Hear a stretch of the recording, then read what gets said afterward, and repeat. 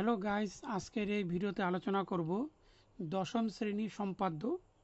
এখানে অন্তর্বৃত্ত অঙ্কন করতে হবে। সেই সম্পর্কে একটি প্রশ্ন দেখিয়ে দিচ্ছি এবং তার অঙ্কন আমি দেখিয়ে দিচ্ছি এই ভিডিও, ভিডিওর মাধ্যমে। এখানে বলা হচ্ছে সাত সেমি বাহু বিশিষ্ট একটি সমবাহু ত্রিভুজ। অঙ্কন করো। তার এই ত্রিভুজের অন্তর্বৃত্ত অঙ্কন করো। এখানে সাত সেমি হবে।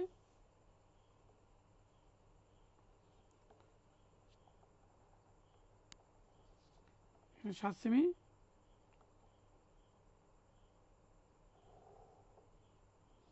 এখানে এখানে লিখতে হবে সাত সেমি এবার এখানে সমবাহু ত্রিভুজ। সমবাহু মানে হচ্ছে যার তিনটে বাহু সমান থাকবে। এবার সমবাহু, বাহু ত্রিভুজ অঙ্কন করে দেখিয়ে দিতে হবে এখানে। এখানে সাত সেমি কেটে নিতে হবে আগে।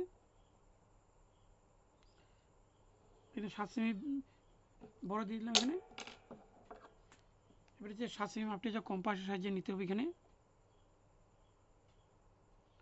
এখানে মাপ নেওয়ার পর হচ্ছে এখানে চাপ দিতে হবে এখানে, নাম দিলাম যে এ বি এখানে এ এখানে থাকবে বি তারপরে এ বিন্দু বসিয়ে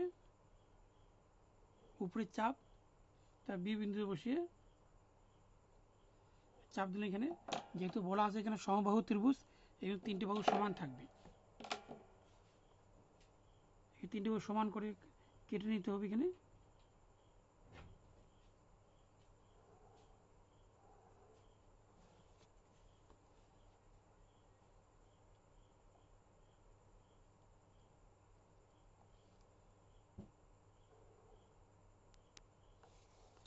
কেটে নেব এখানে। হয়ে সমবাহু ত্রিভুজ।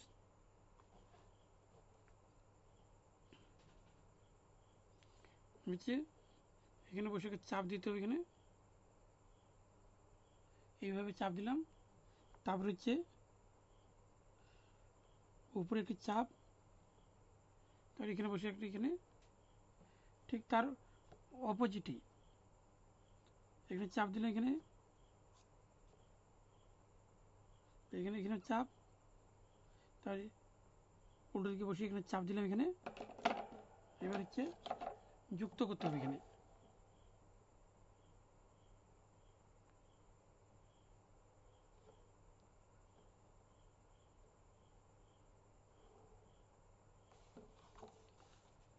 তারপরে এখানে যুক্ত করে দিলাম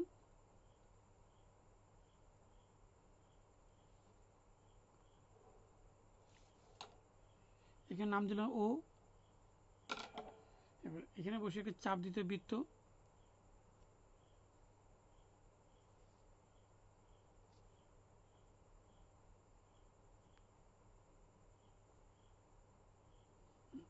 এবার করে চাপ দিন এখানে। এবারে তারপর হচ্ছে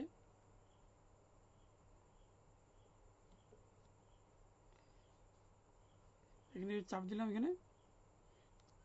তারপরে হচ্ছে নিচে এখানে অর্ধেকে বেশি নিয়ে উপরে একটি চাপ তার এখানে চাপ একটি।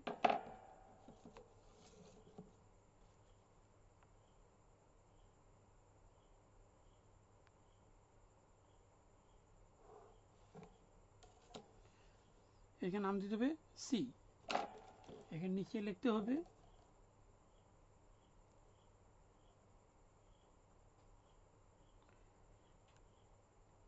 নির্ণয় বৃত্তটি।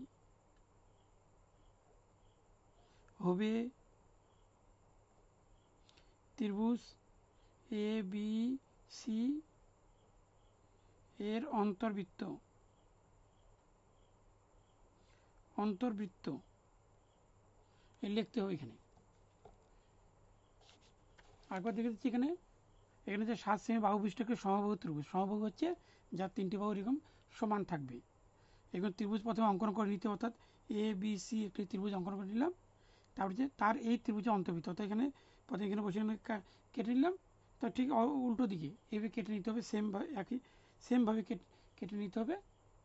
কেটে নেওয়ার পর তারপরে এখানে বৃত্তটি অঙ্কন করতে হবে। অঙ্কন করার পর এখানে শুধুমাত্র লিখতে হবে, নির্ণয় বৃত্তটি হবে এ বি সি এর অন্তর্বৃত্ত। এখানে এই ভাষায় লিখতে হবে। আর ভিডিওর যদি ভালো লাগে, তাহলে একটি লাইক দাও, আর আমার চ্যানেল নতুন হলে চ্যানেলটিকে সাবস্ক্রাইব করো, আর পাশে বেলাইকনটি প্রেস করে দাও। সম্পূর্ণ ভিডিও মনোযোগ দিয়ে দেখার জন্য সবাইকে ধন্যবাদ।